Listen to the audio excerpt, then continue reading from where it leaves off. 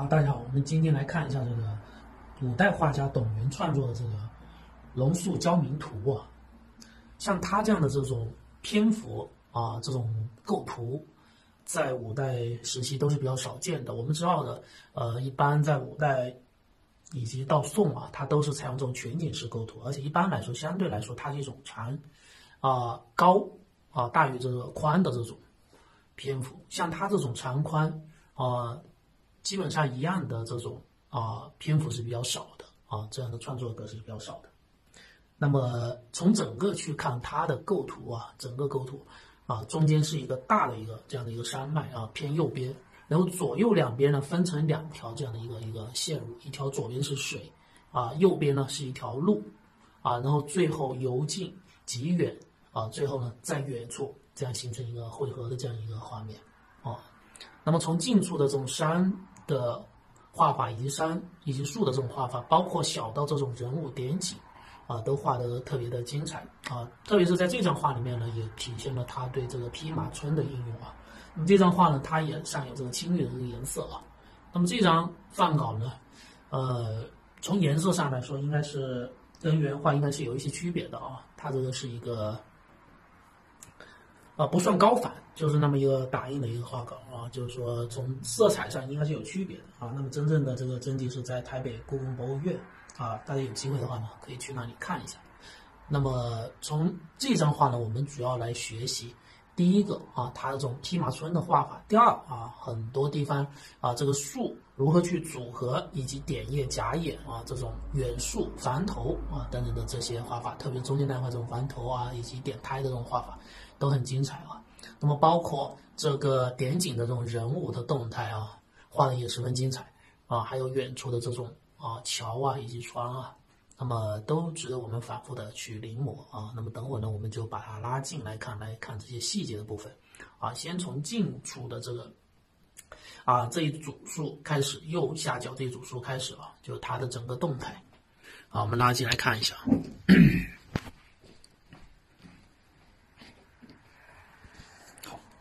那么这一组数呢，啊，大家可以很清楚的看到啊，前面部分它基本上是围绕着一个，啊，在围绕着这样的一个石头上面，啊，去组合，啊，中间互相之间的穿插前后左右，啊，那么这一块基本上用的都是什么呢？都是点叶。我们去看啊，基本上用的都是点叶。那么它通过什么来区分，或者说来啊，让它们之间的这种关系不混乱啊？大家注意看啊，这一块它用的是这种圆形的啊点叶，啊圆形的这种点叶啊。那么这一块呢用的是这种啊闪针形的这种点叶啊，也就是说我们啊画的是针形的这种。好，这边呢用的是大横点的这种点叶。好，到下面这一块呢是往下垂的这种针形的这种叶子啊。好，到了右边这一块，啊，它为了让右边这个树更好的去衔接，或者说把这个前后的空间拉开，这一块它采取的是一个什么夹叶的这种画法。啊，加叶的这种画法，特别是一块颜色啊，如果这一块再用黑色啊，前后的这种啊，感觉叶子就会很很感觉会粘在一起的那种感觉了啊。所以它这一块你看啊，用的是这种夹叶法啊，然后呢，把这个后面的呃叶子去拉开它的空间的关系啊，然后到了右边呢，又是这种夹叶啊，穿插着这种点叶去画啊，所以它这种组合的方式啊，其实是比较值得我们借鉴啊，包括从它树的这种。以色的关系啊，互相的穿插啊，这样的话呢，形成一个很好的一个整体在这一块。那么，特别是这一块疏密的对比啊，能够让这一块的石头啊，这块石头这种颜色啊，啊，能够去看起来比较舒服。好，这一块呢，有一个地方啊，就是说它往这一块后面，而且这一块有一条路啊，沿着这边再往后面去。再到了右边呢，它仍然是有一组树啊，到这边已经到了画外去。但这一组树呢，啊，大家看这这里有一棵树，它是往左边啊，跟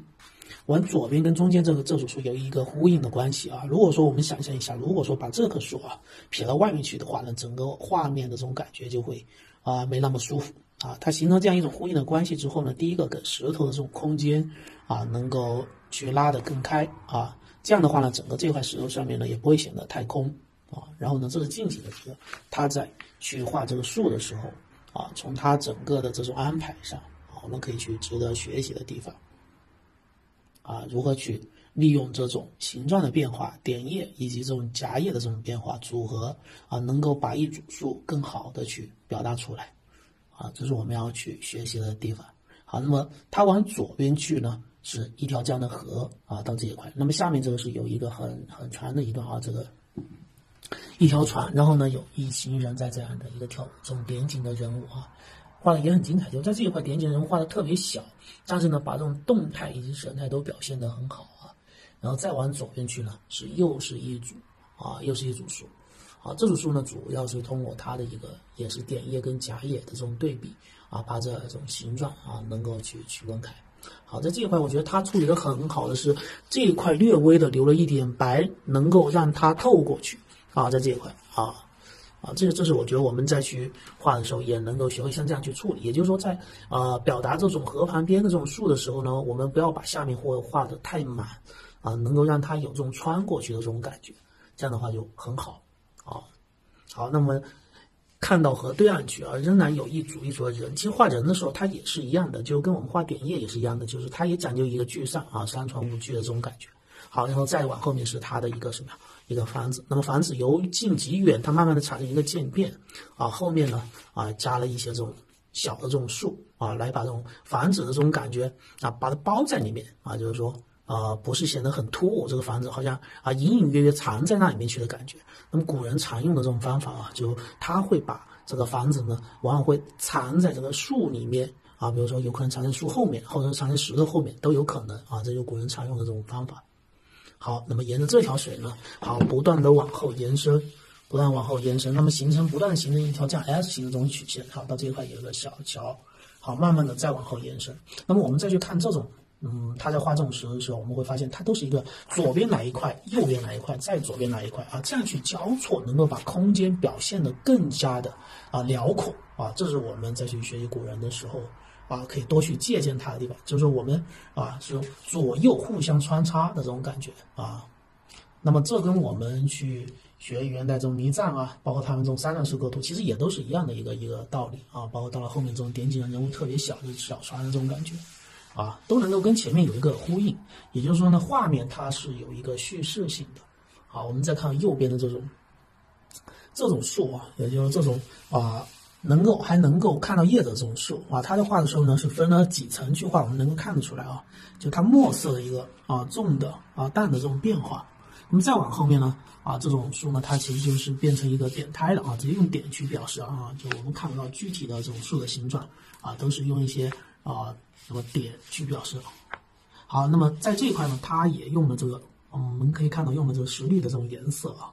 石绿的这种颜色去点开来表示，而且但它这块石绿呢，它并不会说特别显眼啊，它只是在某些地方穿插着点了一些进去啊。整个来说呢，它前面是上的这种啊青绿的这种颜色啊，特别是中间这一块啊，中间这块上的这种青绿的颜色。好，那么右边这一块刚刚讲到啊，就是说古人很擅长把这个房子藏在一个小地方，好看这一块。那么他就是把这个，你看藏在这个前后的树，前后都被树丛包裹着啊，然后里面呢藏了两个房子。好，这一块啊，这一块很有意思的是，这个不知道是放的这个啊古代的这个灯还是什么啊？看这一块哦，三个白色的，也就在五代的时间，你看这三个白色这个东西啊，在这一块，而且他有意的把这一块居然是啊留白了的那种感觉，也就是说这个应该是类似于灯的这种效果啊。好，然后呢从这往后延伸出去啊。越到后面呢，树越远啊，再到后面呢，这种形状啊，颜色啊越来越淡。好，整个这张画呢，我觉得啊，可以多去做一些临摹